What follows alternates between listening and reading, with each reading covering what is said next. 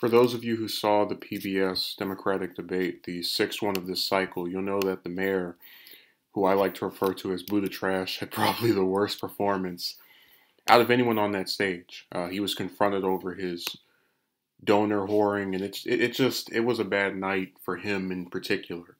Even people like Klobuchar and Steyer and Biden, who I have no affinity for, easily performed better than he did. But because we live in a Twilight Zone type of world, you have individuals like Michael Starr Hopkins who will spin it to make it seem as if, no, you got that wrong. Buttitrash did good. Now, just a little bit of background information on Hopkins.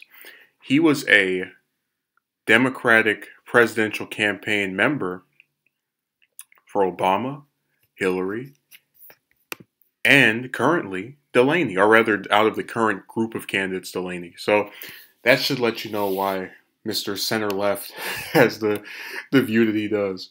But let's read his article. With the Iowa caucuses only weeks away, seven Democratic candidates stood on the debate stage in California and alleviated the concerns of primary voters. And what many have expected to be another forgettable debate, Pete Buttigieg rose to the occasion and took advantage of his front-runner treatment. He not only managed to defend himself against attacks, but also landed the types of blows that have evaded his run.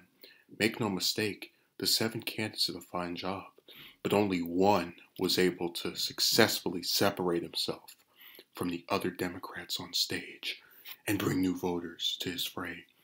That candidate happened to be Buttigieg. For all the hand wringing and consternation for many Democrats, on whether the South Bend mayor was prepared for the bright lights. His performance in the latest debate could perhaps silence even his most ardent critics. Trash did not simply defend his record from attacks by Elizabeth Warren and Amy Klobuchar. He responded in an authentic tone that has evaded his past debate performances and has been the missing ingredient in a campaign that sorely needed a breakout moment. As he did earlier this year, Buttitrash has exceeded expectations and seems like the type of change candidate Democrats have been searching for. While far from perfect, he seemed like a leader. He looked like a leader on a stage that included a former vice president and several senators. Some thought this feat, given his age and the optics, might be impossible for a candidate who has only held local office. But all those concerns were put to bed after his debate performance, while a lot of work must be done to tighten his message and take his candidate, take his campaign to the next level. It is undeniable that the mayor from a relatively small town Indiana, with little national exposure this time last year, came across as the steady hand that is needed to defeat President Trump in what will most certainly be an ugly general election. I was actually going to comment, and I'm, that's about half of the article. I was going to comment that they're over here bragging about, oh my God, Buttitrash, he's around all these senators and a vice president, he's standing toe to toe. Well, what about Yang? He's doing the exact same thing. But to Hopkins' credit, he does mention Yang a little bit further down, so I, I can't go after him for that.